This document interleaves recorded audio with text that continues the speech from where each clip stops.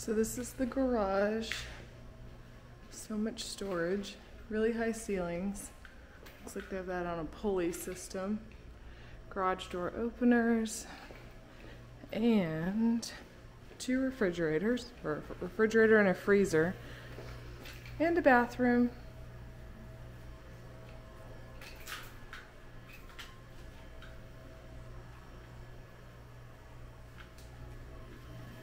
So double doors.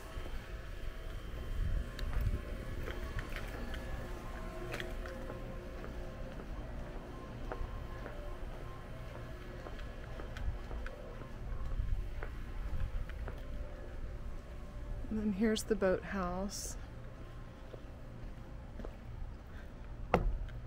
And a ladder.